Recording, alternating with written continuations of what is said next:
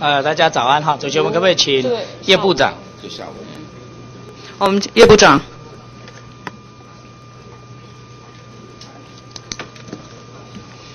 刘委员您好。啊，部长好哈。部长，首先恭喜你担任一个新的职务。谢谢委员。那前两礼拜也感谢你到台东去参加我们关山新火车站的启用典礼。那地方人士也对你有许多的期待啊。哈，部长，我们在这里想来请教你哈。你上任之后，我相信你管的是我们全国的整个发展啊。那就铁路部分，我相信现在整个铁路工程哦，在西部走廊可以做的都差差不多了。现在就只有台东这一块嘛。好，那我在你的口头报告里面啊，你想台东呃台东到花莲的全线铁路电气化。你是以一百零二年度通车为目标，对，年底通车为目标哈，对，今年年底。那部长，我们在这里要来再请教了，到底可不可以再展再肯定一点？我们十二月今年十二月三三十一号以前一定可以通车，因为这是我们地方非常殷切期盼的期盼的。一定，对，我们刚刚那个许市长讲说一定可以通车，嗯，可以完工了，可以完工了，完一定。不是全线，我知道电气化普悠马号可以到台东了。简单讲，用白话对，我们一定可以完工。那后面的话是不是可以通车？要旅勘，旅勘完了确定。那啊，不然我给你一个最保守的时间了，你就完工，然后旅看可以通车。我给你一个，你你认为有把握就通车，因为你你完工没有通车，对我们一般的民众来讲，它没有意义啊。他总是要坐到车才算啊。报告委员啊，因为旅勘是委员制的，那委员会提出什么问题？好，我们。我们尽快会做到。那明年农历年前可不可以通车了？就这样，农历年前是总是大的节庆了嘛？就平常。我我我们的决决心是要农历年前一定要把它完成通车。哎，我们的决心是这样子了。我要讲现实状况了，你的决心，我决心，我小时候就决心要考上台大法律，我没有考上啊。我的决心要考上啊啊！我讲现实状况了，我我这样工程我们都写安全为主了哈，我们就想说你要尽最快的速度又最安全，然后我们在这里就给你。我总是给你个最你认为最保守的时间嘛，我因为你你现在讲我们地方上大家每个所有的政治人物，从县长立委到每个立法每每县议员立法委员，大家讲都是十二月三十要通车，我们这个支票不是一个人开的，就大家都一起开这张支票啦，是好几个人背书啦。然后上次前两个礼拜部叶部长在关山，我听叶部长讲话的内容白话有翻译过来，也是十二月三十号以前要通车啊。对啊，你现在又跟我讲，因我我跟部长保保证的是十月三十一号，我一定呃十二月三十一号一定把它完成啊。然后后面是旅刊的程序，那我现在不能把这日期告诉委员呢，就我尊重旅刊委员了，是这样子。嗯，所以所以你现在想，明年农历年前，如果二一月底以前，你我我很我很想跟委员做这个保证的，但是我想旅刊委员哈，我还尊重他。这样子，那你们把完工的期限再往往前提，然后就可以旅刊就可以跟着往前提了吧？不，完工的期限往前提哈，我们实际上这工程已经提前两年了，这是蛮困难的，哎，所以我也希望你你是。兼铁工局局长嘛，哈，对，你是身兼这整个东线铁路电气化第一线，是是，我相信你整整个施工的品质也是许多人肯定的，包括山里隧道，包括新的火车站，是。那这个最后最后的结果是最重要的，是是，这通车是最重要，是没错。那那你你看，如果弄个半年，那还得了？啊，不会不会不会，一定不会的，一定不会。那年底不用马全部都买好，一百三十六列都买好，三十六辆都买好了，不会。啊，现在就等对对，等你们的可以通车啊，没错，是是。张部长，我们。可不可以？你还是要以十二月三十号，你现在不要再玩字面的，就是说怎么通完工啊，或者通车，就是我们十二月三十二月三十号完工是绝对没问题。那我们也以这个为为目标，希望到时候可以。那根据经验值来看，它旅勘，我们总是做这铁路工程以前有经验嘛，包括北回铁路、南回铁路的这样的旅勘。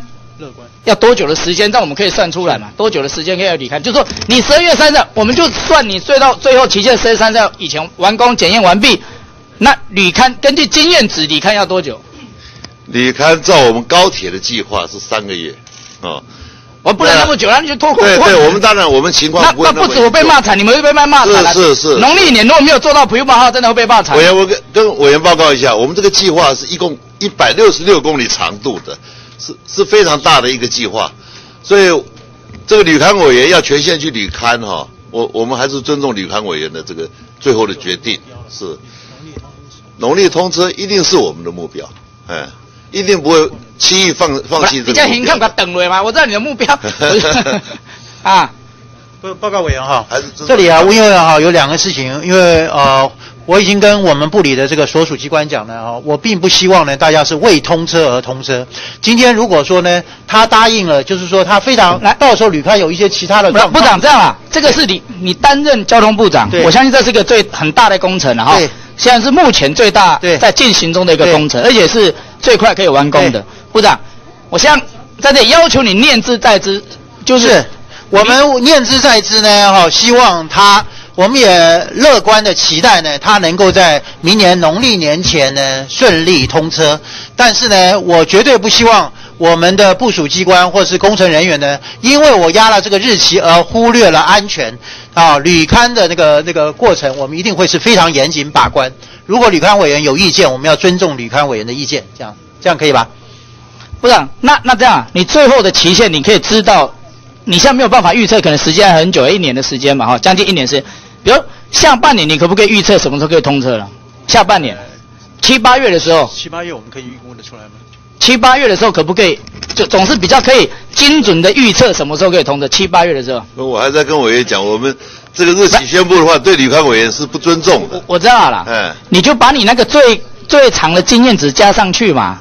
你说最长经验值高铁是三个月，我想这个工程没有比高铁高铁浩大啊。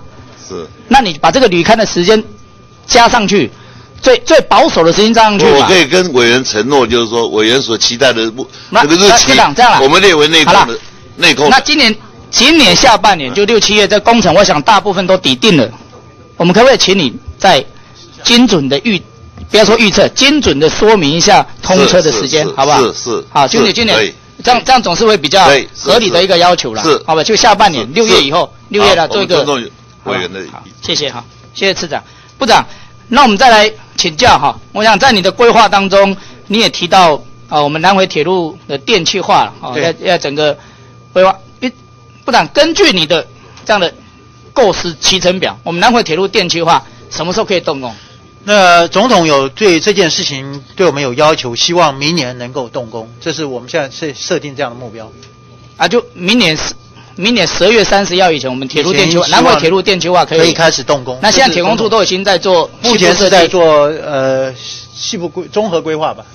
对，在那个南回铁路电气化。南回铁路不用环评了吧？因为它是旧路线，因为不需要环评不需要环评，不需要环评，所以时骑程会比较比较比较快嘛，对，好吧？那部长，我们这这部分也要请你这个我觉得我会把它，这个是会是我们交通部的一个重要工作，因为我认为呢，全台湾的这个铁路一定要部长我说实在，这个说说起来哈，也是台东的一个，我们要怎么形容我们的心情？当然，现在政府要做，我们都很感谢啊哈，历任的政府大家都在努力啊。但是其实说穿了，现在哈，西部走廊也没有什么其他重重大的交通建设可以琢磨了。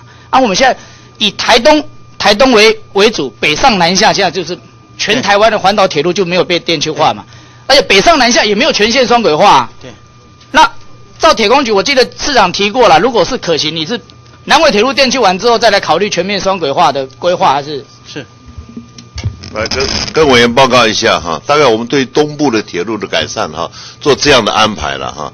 那现在花东是电气化，还有部分的双轨，做完了以后，我们就做南回的电气化和部分的双轨，然后再回头是做花东全线的双轨，再来做南回全线的双轨。市长？是这样这样我算一算哦，要十几年。但是你南回铁路电气化根据当然这些提工程都很成到七年，都是非常我我知道浩大的但是哎市长，有些可以提早做，比如规划设计这部啊分，没有冲突嘛我们我们？都没有提，都没有提。部长会做。我我们规划设计这部分可不可以今年东线铁路的全面双轨化，可不可以今今年就可以开始来规划设计啊？这个不是工程嘛？这个总是经费比较少啊，而且对你们能力来不会负荷太大啊。我我们会编列这个预算呐、那也希望我们委员的协助、哦我一定会支持啊能争取到这个预算。对，那那你们的计划当中什么时候可以把启动这个全面双轨化？全面双轨化最快的话是明年开始，因为今年预算那明年开始是做到什么？么程度？明年开始是做是你你要提这个构想而已，还是已经进入细部设计的那？还是要从可行性研究开始，因为牵牵涉的这些沿线的哈，所有的不啦，部长，可行性评估总是比较起最起初的计划吧？是是是我们今年就来做，那不用很多钱吧？啊，部长但是没有钱了、是啊确实是没有钱。目前我们今年的预算是很拮据了哈，但是呢，在政策上呢，我认为呢，台湾的铁路路网全面双轨化、全面电气化是一定该走的。那的确，过去我也觉得呢，过去稍微走得慢了一点，所以今年虽然没有预算，明年我们一定编预算来来来来，也请委员来支持做这件事，好不好？部长这样啦，全面的双轨化就是以台东为主的全面双轨化的可行性评估，最慢明年会来做可行性评估嘛，哈好。但是我们尽量，请你来争取，这个不用很多钱，交通部那么大的预算，我们今年挪一点钱先来，我们来研究一下好了，好不好今年有可能可行性评估我相信年会几千万就可以工作，我们来研究一下好了，几千万，几千万可以，几千万对交通部来讲没有很，没有很大啊，不。所以我们来研究了，就是这个现在我们的这个，据我了解，我们的预算是非常的拮据，因为各那部长个地方，让你跟次长哦，会后你们再研究一下。好啊，下次我再问你啊。好 下次可能就下个礼拜会再问你。好谢谢部长，我那我再请教哈，我们在台九线的整个呃金轮的外环道是三呃呃两前两个月已经发包了嘛哈，然后安硕到草埔的隧道工程是要好像三月份要发包。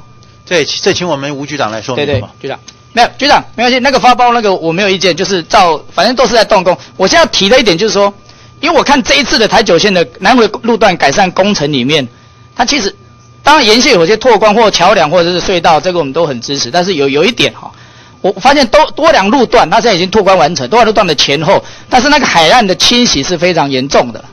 我我想这是没有包括在这次的工程里面，我们可不可以未雨绸缪？因为以后你其他路段都做好，结果这一段被万一被海岸侵袭的话，那那这条路段还是断了、呃，跟委员报告，事实上那个啊、侵袭的路段要先从北边有一个港啊，我们必须要把那个隧道土啊的那个出来的粗渣的东西去帮他填你你们现在要填南南新路段，我知道，你就是隧道挖的要填南新路段嘛。啊，但是不止南新路段清，我我认为你局长你找时间我们一起去看。好多良路段的前后清，我认为那个海岸打得更严重，比南新路段不亚于南新路段。我们会去处理这个问题。好吧，这个一定要处理，要不然对我才让你走啊。对对前后做好，就中间那段断了。对对，没有错。好，我找到申培委员去。好不好好。好，部长，再再一分钟了，部长，因为时间的关系哈，部长，我相信刚刚许多的委员会提到这个机票涨价这样问题啊，部长，我记得你在报纸上听过，你会包括离尖峰的票价的差距啊等等，你会想配套措施。那我在这边，因为最后的审查权就在部长的手上啊。哦，虽然他航空事业绝对不是任由他开放。完全百分之百免，它跟杂货店不一样，杂货店他要涨价，一包泡面要卖五块十块，我们管不着。但航空价这这是个特许的行业，部长，我们在这里要求你要做最后的把关，而且你刚提的那配套措施，包括离间峰的配套措施，包括补贴的政策，如果还没有全面的时候，部长你要立挡这个涨涨价，因为我们会非常的部长，因为在审核国内航空线的时候，事实上。这些航空公司，他们飞国际航线，他们争取国际航线的时候，已经把它飞国内航线这样的责任跟义务，把它当成一个加分的项目了。我们会非常慎重来处理这件事情。谢谢。好，谢谢我们刘兆豪委员的质询。接着我们请林国政委员。